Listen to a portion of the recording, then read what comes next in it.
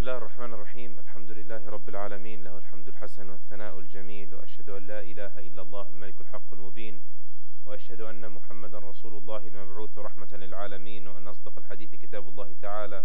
وخير الهدي هدي محمد صلى الله عليه وسلم. وشر الأمور محدثاتها.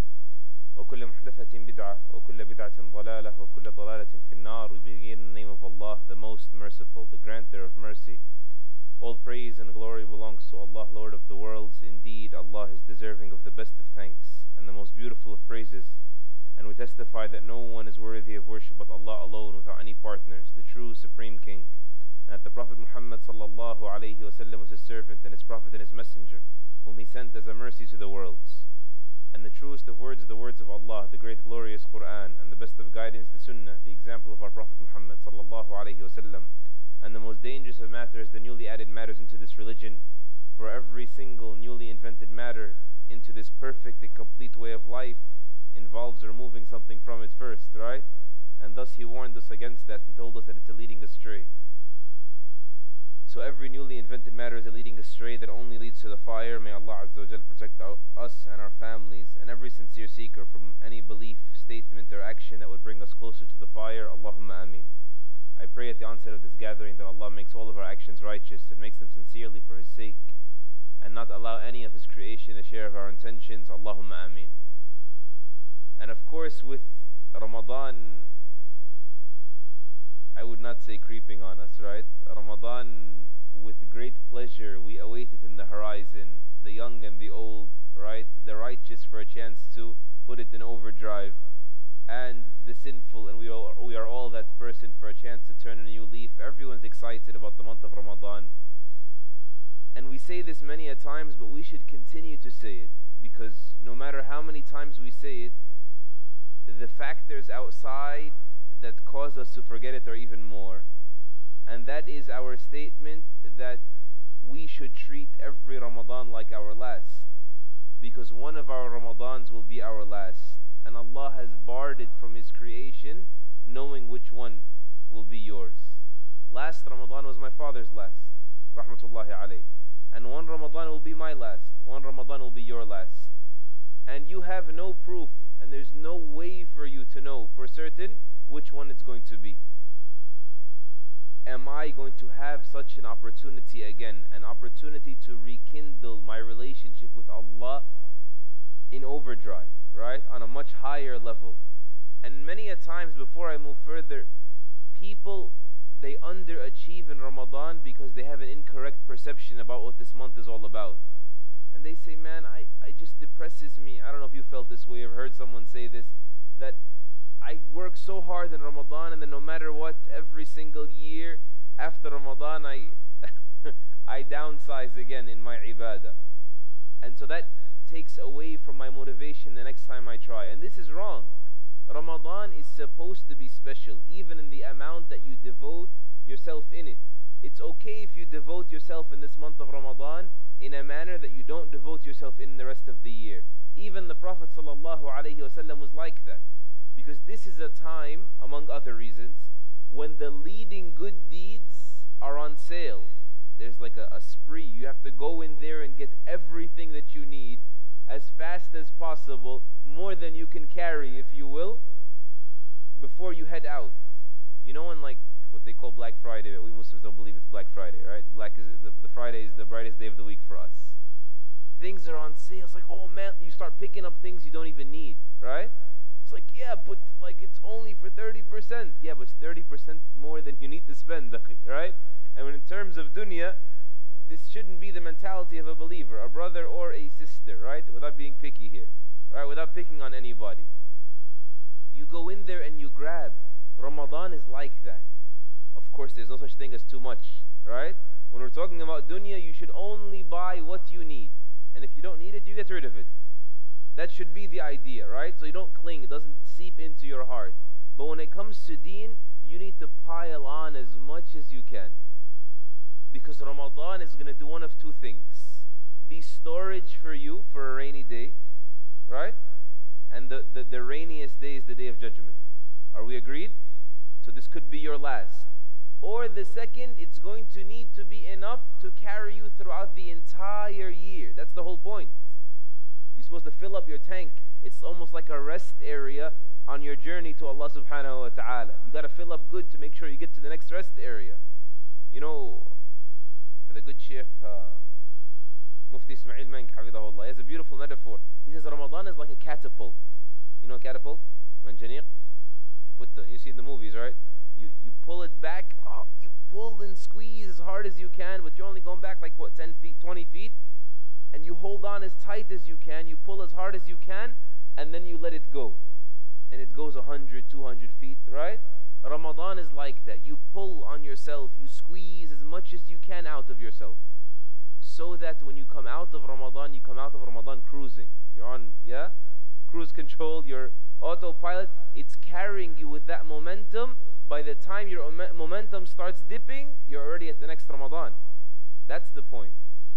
How did Allah Azza wa teach us that? By augmenting the reward of the leading good deeds in this month.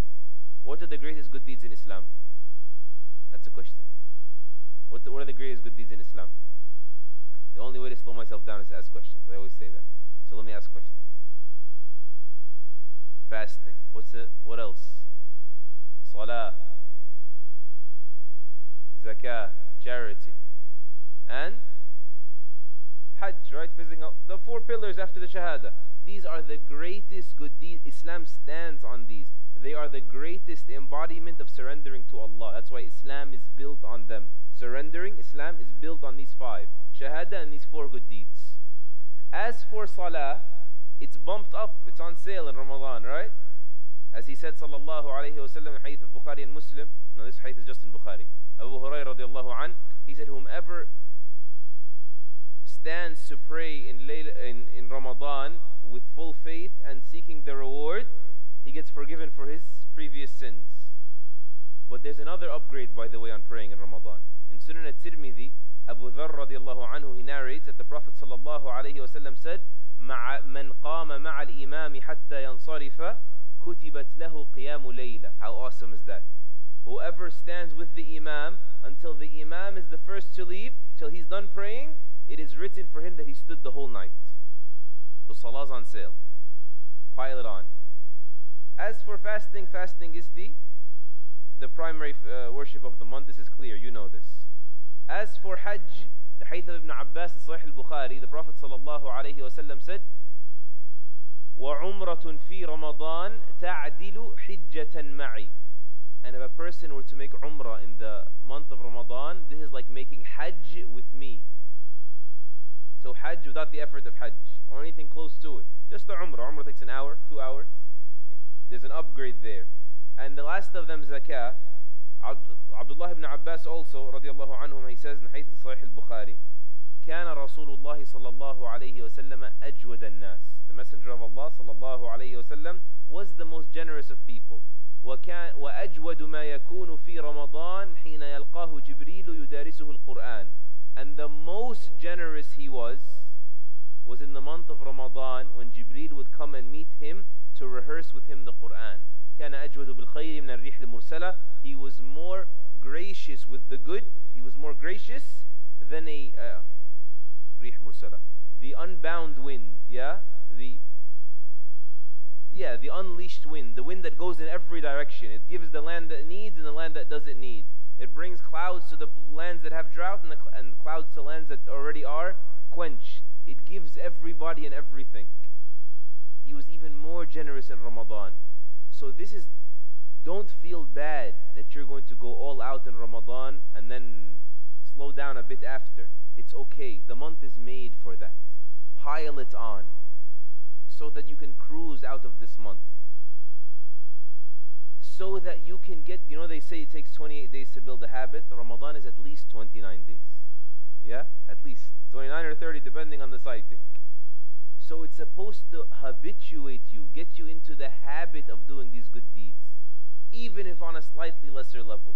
It's supposed to put you in the habit of being alert, observant of Allah subhanahu wa ta'ala in everything that you do. Yes? Yes or no? Which is what? Which is taqwa. Being observant of Allah, conscious of Allah, they translate it, is taqwa. And by the way, every Muslim has taqwa. Right or wrong? You agree with me or you guys want to debate? Every Muslim has taqwa. What does taqwa mean? Forget conscious of Allah. I already said that. Give me another one. What does taqwa mean? Where are the Arab students here, the Arabic students? What is taqwa? To shield, to avoid. Ittaqa means to protect himself, to shield himself, to avoid something. Got it? So taqwa means to shield yourself from what would harm you, namely the anger of Allah. So you're, you're aware of the limits, you're aware of the lines. That's why they translate it as being conscious of Allah, meaning the limits of Allah. You get it now, where the connection comes from? Fear of Allah, consciousness, obedience. That's why they're all interchangeable. Every Muslim has automatically a degree of taqwa, or else he wouldn't be Muslim. He shields himself from what? No, they're Muslims. They don't shield themselves from haram. They're still Muslim.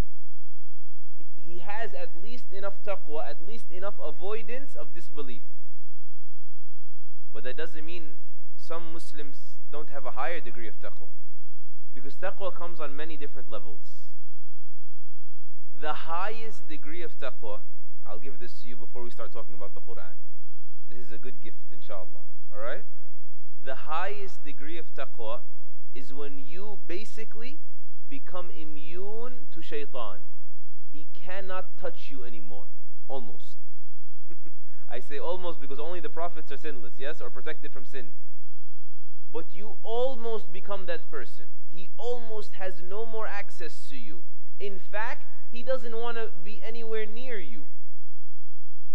Like the hadith of Sa'd ibn Abi Waqqas radiallahu anhu in Sahih al-Bukhari, the Prophet sallallahu alayhi wa sallam said, إيه لك يا ابن الخطاب ما لقيك الشيطان في فج إلا وسلك فجا غير فجك meaning how amazing is your circumstance O Umar ibn al-Khattab shaitan doesn't find you on a road on a street except that he takes a street other than your street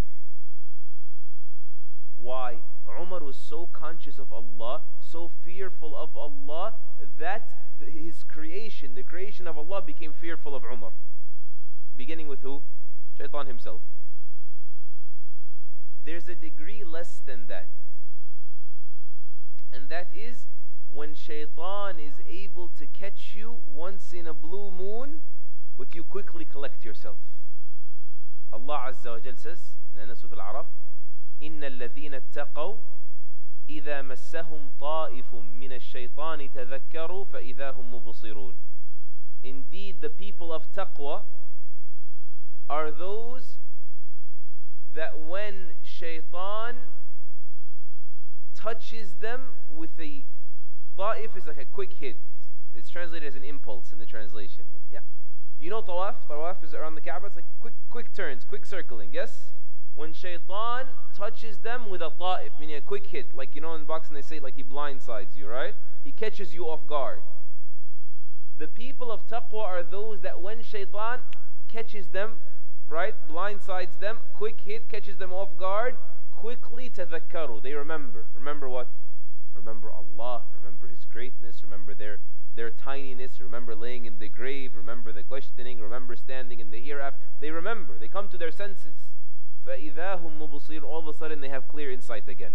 So that's a lesser degree where shaitan catches you once in a blue moon, catches you off guard, very rarely, in something that isn't huge, perhaps a minor sin, there's a degree less than that.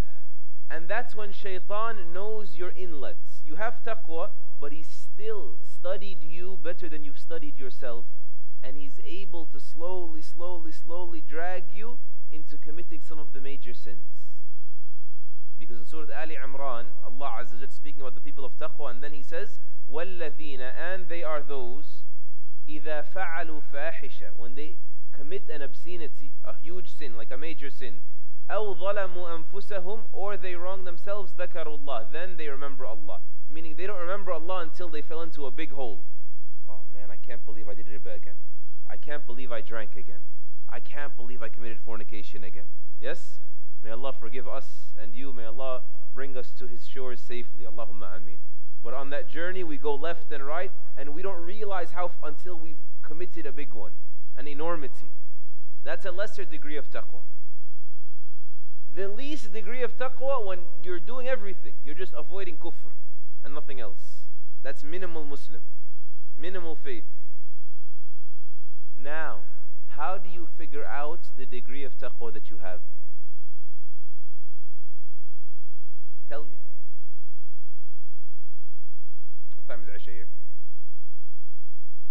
9.45. Awesome. We'll be done before then. Way before then, inshallah. How do you figure out your level of taqwa? You guys should answer. Because if I answer, you might throw me out the window. You're going to hear my answer and think I'm crazy. تفضلوا. These are all correct. You know what the easiest one is? Don't laugh at me, okay? Don't kill me, you promise? Listen to shaitan. Don't listen, I mean like hear him out. I don't mean listen like obey, because hearing and listening are two different things. Hear, I mean just the sense. You can determine how much taqwa you have based on what shaitan is whispering to you. Because shaitan's attacks are strategic. He's not going to come to someone that's praying Isha and Fajr in the masjid and telling him and tell him disbelieve in Allah. Like, what? Disbelieve in Allah? No way, right? He's going to take him gradually, step by step. Yeah? He's going to tell him, You missed Isha, it's okay, Fajr. Fajr, uh, Isha. Right? And then after a while, he starts praying in the masjid. He starts praying at home now. And then at home, he's just like, uh, Okay, I I missed the Jama'ah anyway, so delay to the end of its time. And the end of its time starts getting tight, so he starts mixing the prayers. He starts rushing them. Then he starts combining them. Then he starts missing prayers. When he starts missing prayers, he falls prey to his desires. So he starts committing sins. And these sins get bigger. And they become major. And the guilty conscience, no one likes to have it, so you begin to justify it. And when you justify your sins, you're right there at disbelief. Shaitan is telling you commit zina, he knows that's a possibility for you. That's your level, or else he wouldn't have whispered it. You understand? If he's telling you disbelieve, he knows you're right there. If he's telling you miss Isha, because he knows that's the possibility, that's where he could be able to get you. Now, Ram- the month of Ramadan, fasting has been prescribed for you like it's been prescribed for those before you so that you may attain taqwa. How much taqwa can Ramadan offer you? Depending on the level of your fast. There are levels of taqwa. How many of them are you going to get in Ramadan? Depending on the level of your fast. You see, because the fasting is on many levels. There is what you can call bare minimum fasting, which is what? Answer. We'll get the fiqh and the spiritual, everything in one night. Food, drink, intimacy, basically. I mean, without getting into the fiqh. Basically, staying, that's minimal fasting. Okay? That's not proper enough. That means you have fasted a valid fast. Allah will not ask you, why didn't you fast? Allah is not going to punish you for not fasting. Okay? But that doesn't mean it's an, that it's good enough. It's proper. This is bare minimum. What's my proof? The Prophet sallallahu alaihi wasallam said, وَرُبَّ صَائِمٍ لَيْسَ لَهُ مِنْ صِيَامِهِ إِلَّا الْجُوعُ وَالْعَطَشِ Perhaps a fasting person gets nothing out of his fast but eating and drink. To narrated by Ibn Majah. From Abu Hurairah radiallahu anhu.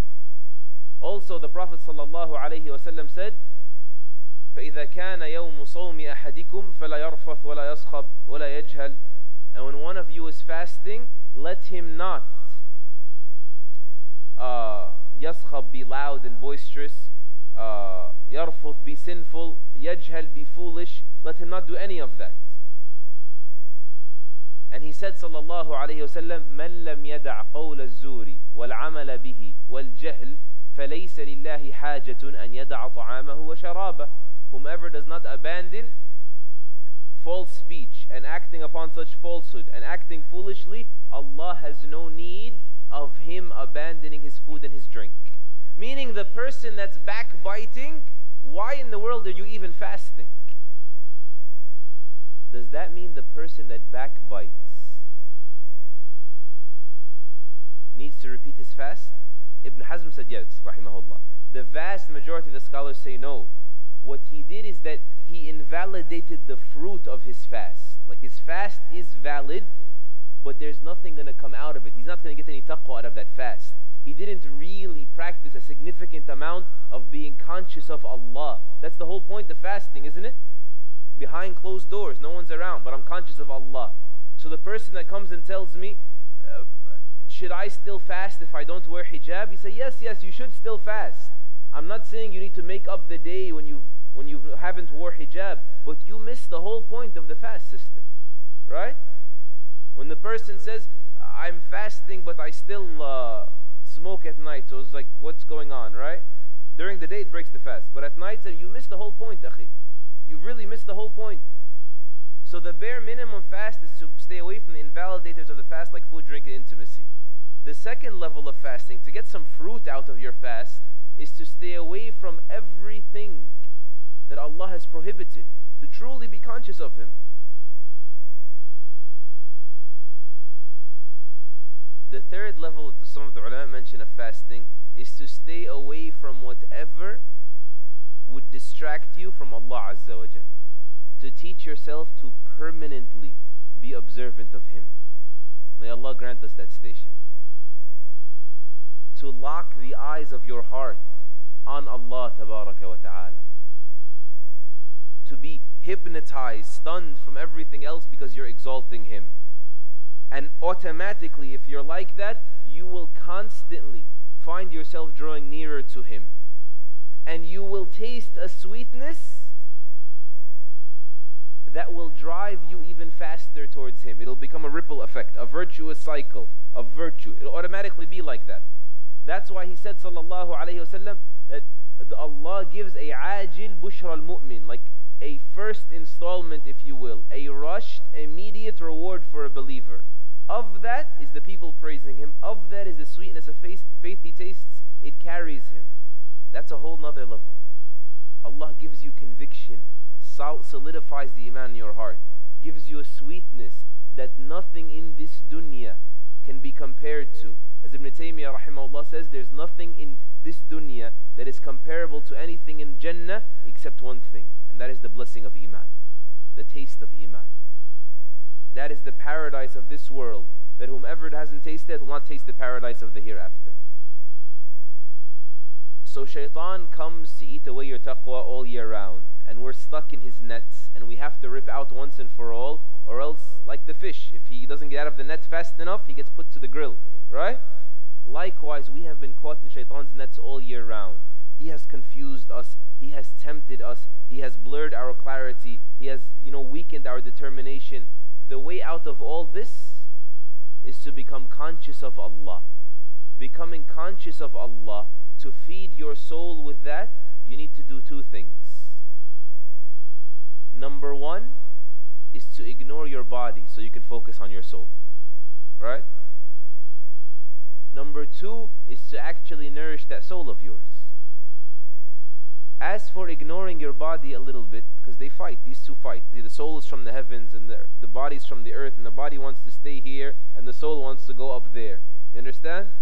Allah made it, alhamdulillah, Allah made it mandatory at least one month, we ignore our body a little bit.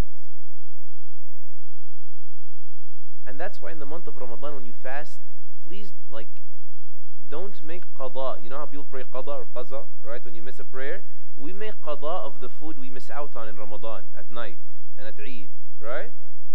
It's like I gotta eat double and I haven't eaten all day.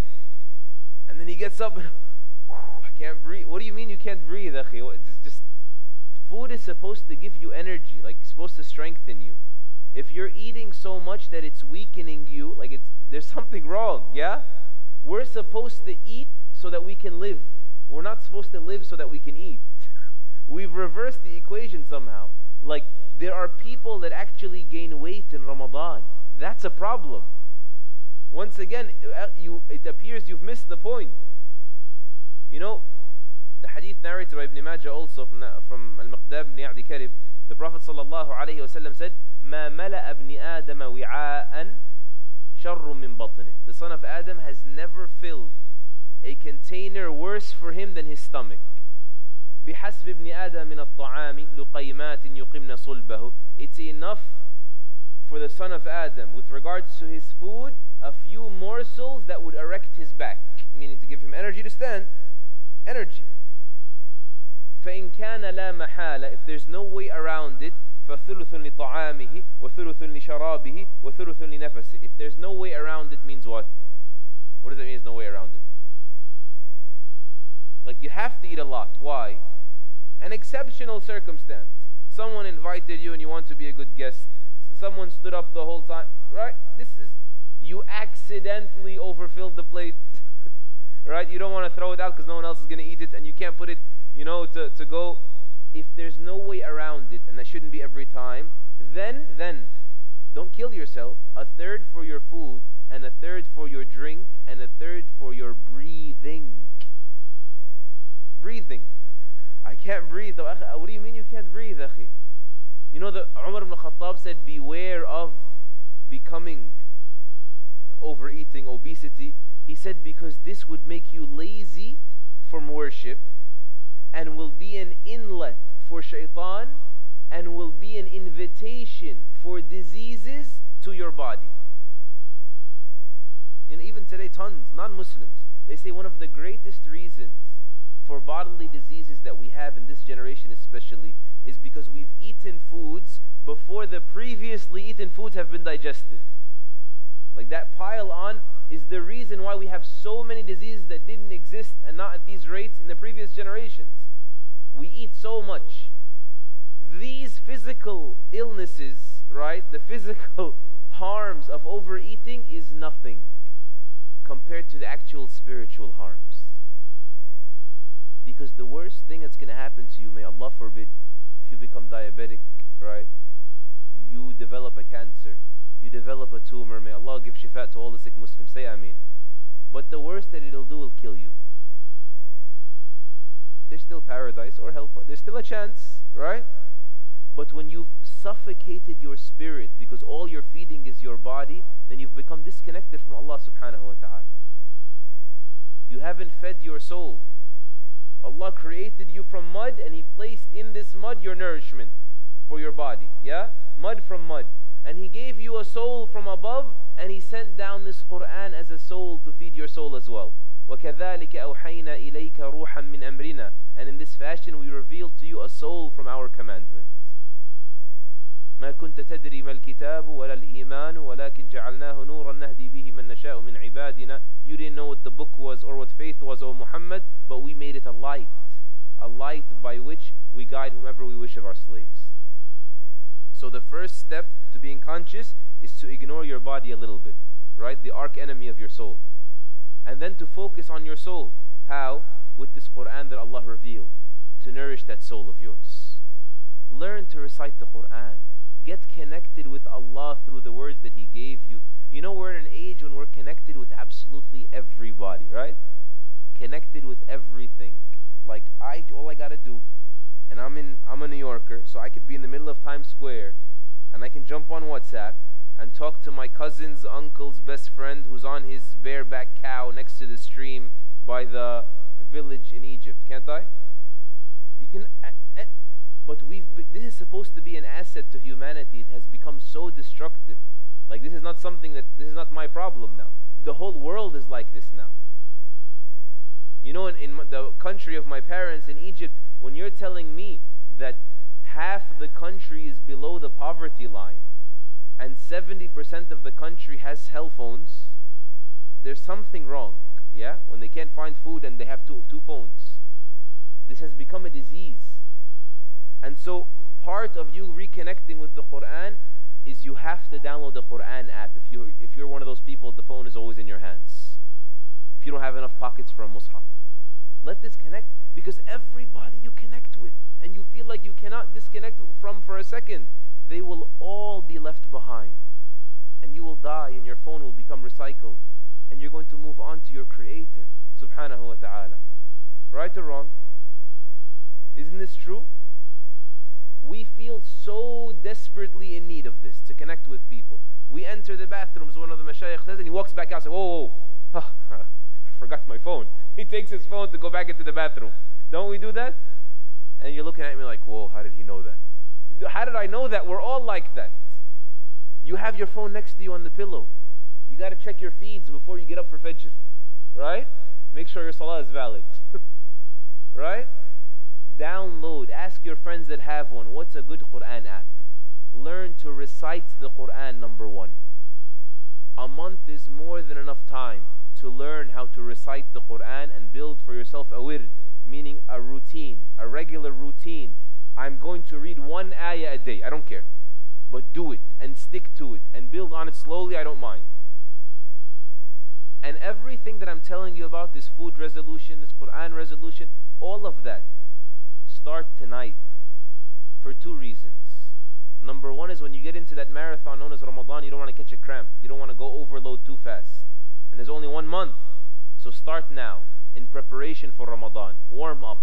Secondly, and more importantly, perhaps, is so that you get into the habit of not only worshipping Allah in Ramadan.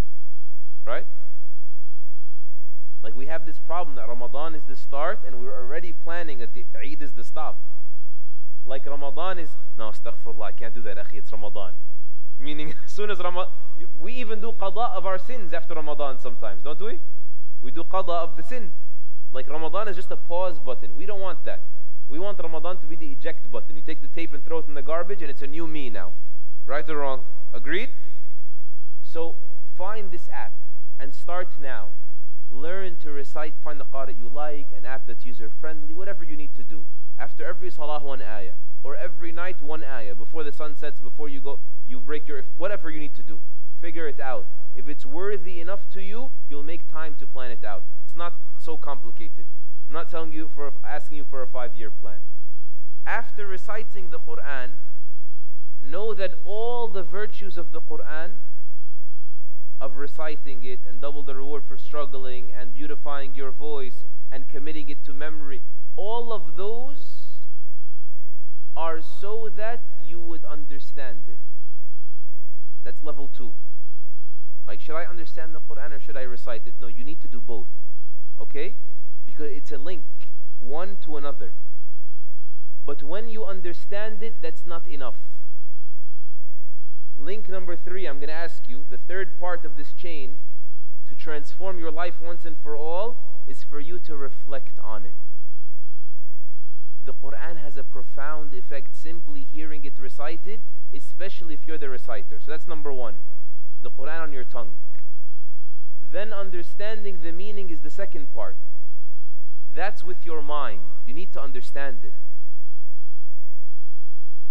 These meanings you need to present them to your heart. So, tongue, mind, heart. You need to present them to your heart to reflect on them. In that, you unleash the power of the Quran. That's why the Quran came. Is that clear? So, you have to correct the way your tongue pronounces it and regularize your routine with the Quran. Number two, you must understand what you're reciting. Number three, that's not that's not enough. Like you understand, I can if you understand, then you might reflect. But if you don't understand, you will never reflect, right? What are you going to reflect on? The nice sound? It's not, there's no way you're going to get the message. This is a letter written for, by Rabbul Alameen, Lawh al-Mahfuz, spoken to Jibreel alayhi salam, given to the Prophet sallallahu alayhi wasallam. You should see it as a privilege that you're allowed to recite it, that you're allowed to understand it, that your limited mind is able to comprehend it at least on some level. Abdullah ibn Abbas, you know what he says about the ayah? وَلَقَدْ يَسَّرْنَا الْقُرْآنَ لِلذِّكْرِ فَهَلْ مِن مُدَّكِرٍ We made the Quran easy to be remembered. So is there anyone willing to remember? He says, لولا أن يسره الله على لسان الآدميين ما استطاع أحد من الخلق أن يتكلم بكلام الله. Had Allah not made it easy for His creation, for the tongues of His creation to repeat it, no one of these children of Adam would have been able to repeat the words of Allah the Mighty and Majestic. Like think about it. how can I repeat His words? Like how? You understand the, the message he's trying to relay here. So recite, understand, reflect. There's a uh, a piece that I came across years ago, and I've presented it in different ways in different times. I, I've published it a little at length. You can look it up on Muslim Matters. I'm going to rush through it now. but it's some beautiful life experience. They were gained through life experience, among other things, of some of the students of the Quran, very high level students of knowledge in certain parts of the world, regarding factors that help you reflect now. Um, we're going to help each other. How? h- Okay, reflect. What do I mean reflect? Like, how do I reflect? So these are fuels that will factor factors that will fuel your reflection, inshallah. For those that are writing, keep writing. Those that are not writing, beat up the people that wrote and take their notes, inshallah. Deal? طيب, Bismillah. The first of them, when you're with the Quran, there, there are 11, I'll read them fast, inshallah, get done before Isha. You need to find yourself a setting where you are totally alone. Not with your phone as it receives calls, right? And at a time when you know people are going to keep interrupting your thought process and you're receiving notifications and all of that. Allah commands us with tadabbur. The dubur of something is its back end, right? Tadabbur means go look behind these words. Why did I choose this word? Right? So that requires your undivided attention. The second is that when you are alone, being alone for short spurts is not good enough. You need to prepare yourself to sit for long periods of time. I'm going to dare to say at least 10 to 15 minutes. I'm going to, at least 10 to 15, just to put a number on it if I had to. Because they say that the message that lays, lies within the Quran is like a good friend, or is like a friend. The longer you sit with him, the more of his secrets he begins to disclose to you. And whomever has tried to build a relationship with the Quran can notice this. That like you look at a certain meaning, like, whoa, how didn't I see that before?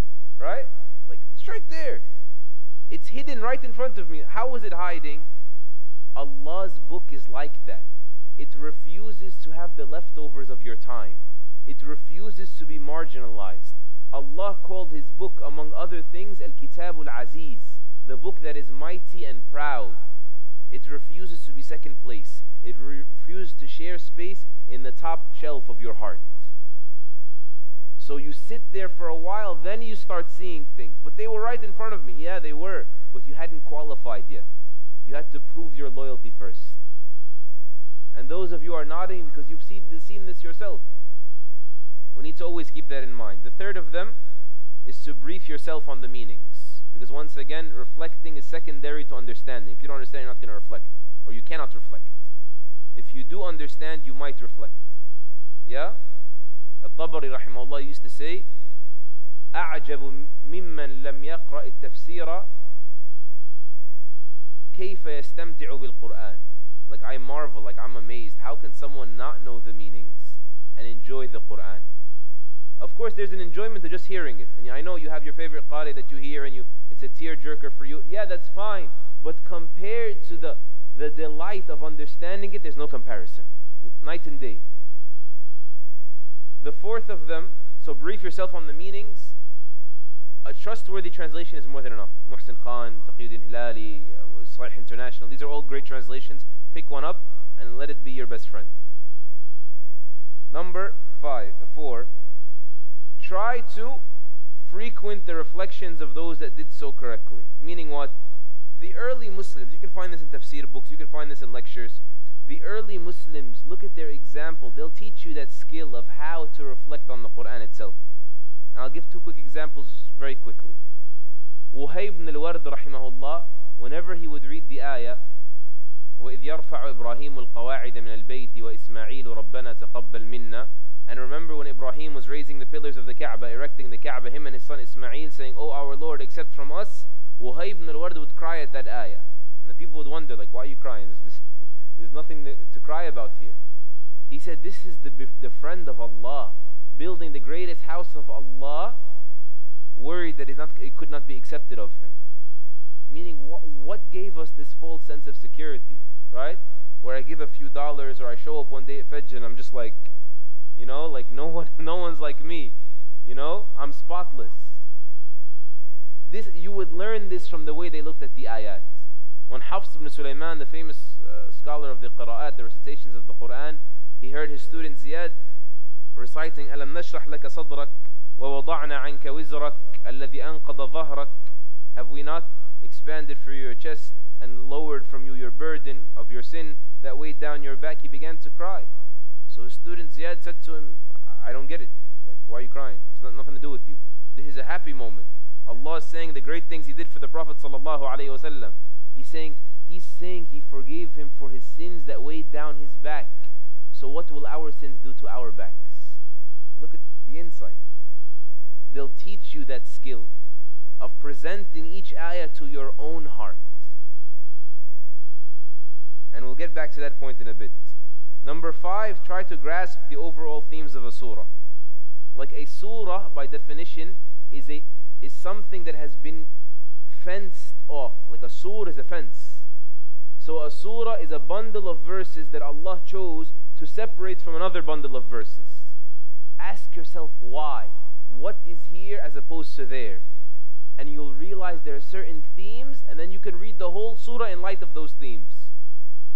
The easiest example, the easiest example that I can think of, Ar-Rahman, the beginning of the surah, Allah's name. The end of the surah, Tabarak asmu rabbik. Blessed is the name of your Lord. That means every single ayah there is connected somehow. Now go figure it out. So if it's all about Allah's mercy, علم القرآن understood. He taught the Quran from His mercy. خلق الإنسان understood from His mercy. علمه البيان. He taught him articulation from His mercy. Then keep going. Then he speaks about how he torments people in the hellfire. How is that from his mercy? Think, you'll find out. That's part of his mercy too. That those who were believing through thick and thin will be gratified to see that Allah will not equate them with those that defied and denied.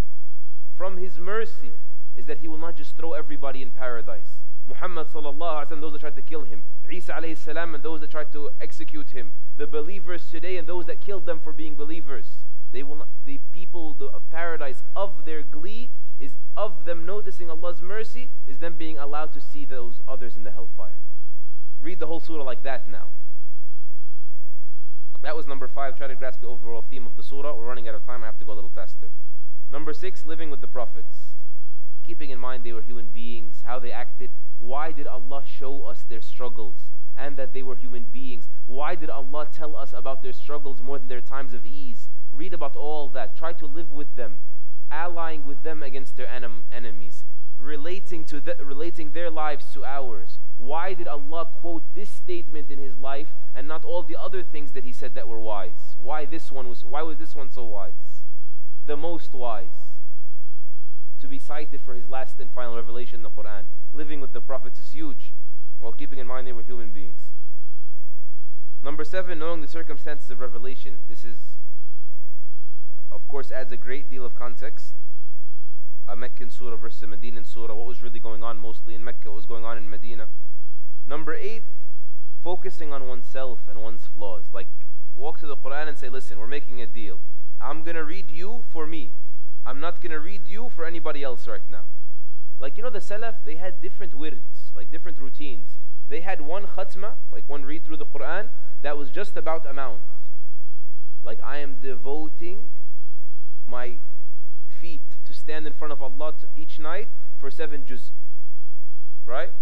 A fourth of the Quran uh, each day, like Al-Urwa ibn Zubayr used to do. They would have a completely separate wird just for reflecting ayah by ayah. And this khatma would take them years sometimes, no problem. So you come to the Quran and say, listen, tell me about myself. Yeah? Show me my flaws. Uh, no matter what I discover here, just so you can like remove the interference. Like we said in the khutbah today. I'm not posting anything I discover here. Any gem I find, I'm not putting it on Facebook. Yeah? I'm not going to rush and tell somebody, oh man, subhanAllah, I read this ayah today. Wallah, I was crying. Wallah. you know, that stuff, that silly stuff we do all the time. Make a deal with yourself just so you can ensure your intention would be pure. Uh, tell me about me. If you do that, you will realize the ayat in the Quran, one ayah can rid you of so many diseases. A quick example I just had here in my notes. Maliki yawmiddin. You are the owner of the greatest day, the day of retribution, the day of recompense, right? If you're arrogant and you're presenting your heart to this ayah, it will break your arrogance. Man, I don't even own this smaller day. I can't control things here, right? Who am I, right? This is the owner of the greatest day, the day whose length is 50,000 years, right? At the same time, if you're a coward, this very ayah will brace your cowardice, will strengthen you. Why am I afraid of anybody? Why am I afraid of my boss or afraid of the Islamophobes? Why am I afraid of anybody? Allah owns this day, for He owns the greatest day. Of course, He owns these lesser days. It will do all of that, this one ayah, if you devote your heart to it. Similarly, you know, Sulaiman al-Taymi, used to say, whomever does not live fearful of the hereafter should worry that he will not be of those that are admitted to paradise in the hereafter. Because, look at how he reflected. He said, Allah Azza wa Jal says that the people of paradise are going to have a conversation. And in that conversation, they're going to say, إِنَّا كُنَّا قَبْلُ فِي أَهْلِنَا مُشْفِقِينَ فَمَنَّ اللَّهُ عَلَيْنَا وَوَقَانَا عَذَابَ السَّمُومِ إنا كنا من قبل ندعوه إنه هو البر الرحيم They approached one another يتساءلون the ayah says asking one another They say man we used to be among our people very apprehensive very fearful but Allah conferred a great favor upon us and protected us from the torment of the, the tormenting winds the scorching winds of the fire we used to beg him meaning to save us from what he saved us from Indeed, He is the most kind, He is the most merciful. So if you weren't back then, meaning now, apprehensive and constantly begging Allah to save you, then you should be worried that you're not going to have that conversation in Jannah later. We were so worried until Allah saved us. You understand the, the point here? To present each ayah to your heart, to show you the flaws, the holes there. Number nine, compare similar scenes. And this is just like spectacular. One of the brothers that pointed this out, it was so nice, the researchers. Like Allah Azza He puts patterns there. And they're so clear. But not if you're the type of person that's letting one ayah get dismissed to admit the next ayah in. Not if your Quran is falling on deaf ears. For example, Musa alayhi salam says, Rabbi bima an'amta alayya. My Lord, because you favored me, I'm never going to support the wrongdoers. Iblis, shaitan says, Rabbi bima aghwaytani, my Lord, because you've misled me. Look at the perspective of Musa alayhi salam, made him a prophet. Look at the perspective of shaitan, it made him the leader of disbelief. It's about perspectives. It determines whether you're saved or not. Me and our, our brother Ammar today, we were discussing the issue of perspective the way you look at the world around you. You know, a person can sit there in prison and lose his mind because he cannot leave. And a person can realize, no, my the guards are not the ones that are keeping me in here. This is the qadr of Allah keeping me in here. And he can be happier in there than his persecutors outside. Right or wrong? Depending on how Allah teaches and guides your heart to perceive things. The Quran is teaching us that. Your salvation is based on perspective, and Allah is the grantor of perspective. Subhanahu wa ta'ala. Look at the pattern. Allah tells us that Ibrahim alayhi salam is willing to slaughter his son. And Banu Israel is not willing to slaughter a cow. Look at the, notice the pattern, the similar scenes. That's supposed to teach you something. That it's not about the cow and it's not about your son. It's about who the commander of all that is. That's what's going to define you. The believer does not look at the details. He does not look at how big the sin is. He looks at who it is against whom he's sinning. Right?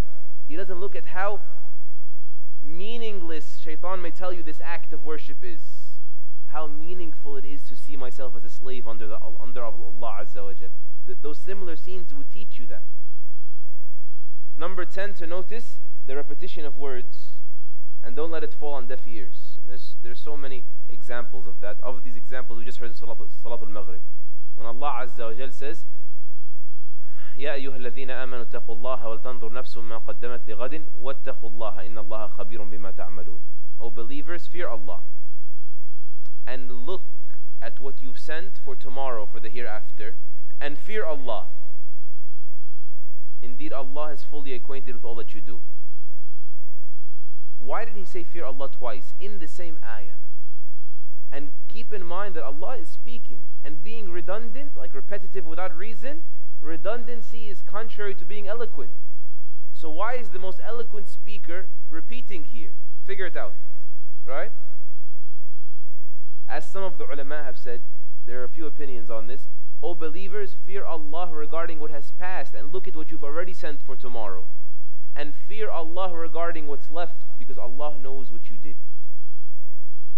Meaning, fix what's left, Allah will forgive what's past. You don't fear Allah and you mess up with what's left, He will call you to account for what has passed and what is left. Right? Possibly the meaning, or one of the meanings, figure it out. Don't be accepting of a superficial, right, surface level understanding. And the last of them, and perhaps the most important of them, to be truthful to Allah subhanahu wa ta'ala. لو صدقوا الله لكان خيرا لهم had they been truthful to Allah and that was the entire subject of today's khutbah it would have been so much better for them in dunya and in akhirah be truthful in wanting to understand his message to you be truthful in wanting to cure or to purge the poisons out of your heart through this Quran. You know, I mentioned to you two narrations about this that are very, very beautiful, both of them. And Imam al-Bukhari, rahimahullah, he says, he says, we have heard in Allah's book that he said, إِنَّهُ لَقُرْآنٌ كَرِيمٌ فِي كِتَابٍ مَكْنُونٍ لَا يَمَسُّهُ إِلَّا الْمُطَهَّرُونَ It is in a noble Quran, in a uh, preserved tablet, preserved record, that is not touched except by those that have been purified. The majority of scholars say that this ayah, forget the rulings that come from it, but this ayah is originally speaking about the angels. Because they are the ones that touch the Quran up there, the one in the, in, in the Lawh al-Mahfuz, in the kitab that's maknoon, in the preserved record. Why are we being told that? Some ulama said this is an indirect proof from Allah as if to say, if those up there cannot touch that Quran except by virtue of them being the most pure, likewise you cannot touch the Mus'haf without being in a state of purity. That's the fiqh discussion, right? The majority of the scholars, the four imams, are of the view that you need to be in wudu to touch the purely Arabic Mus'haf. Al-Bukhari rahimahullah says, and perhaps Allah is indirectly teaching us that you will not be able to touch, meaning fully come in contact with the reality of this Quran until you are of those that are pure. Spend time and continue to clean, detox, repent, read more and more Quran until you are permitted access to it. You understand the message? And the other one was mentioned by Shaykh al-Islam ibn rahimahullah regarding the hadith of Abu Talha al-Ansari radiallahu anhu in Bukhari and Muslim. Abu Talha al-Ansari, he narrates that the Prophet sallallahu alayhi wasallam said, لا تدخل الملائكة بيتا فيه صورة ولا كلب. The angels don't enter a house wherein there is an image or a dog. He said, if the angels will not enter a house that contains an image, meaning of an animate object, or a dog, then how can knowing Allah and loving Allah and longing to meet Allah and the sweetness of faith enter a heart that contains the dogs of desires and clings to its images, the images of these false vanities of this, of this world. You got to clean it out, right? May Allah purify our hearts and grant us understanding and forgive the hypocrisy in our words and not make our share of this talk simply hearing and listening and nothing more. May Allah enable us to translate it into action and make what is remaining of our lives better than what has passed And the ultimate best day of our lives, the day that we meet Him. Allahumma ameen. جزاك الله خيرا وصلى الله على نبينا محمد وعلى آله وصحبه أجمعين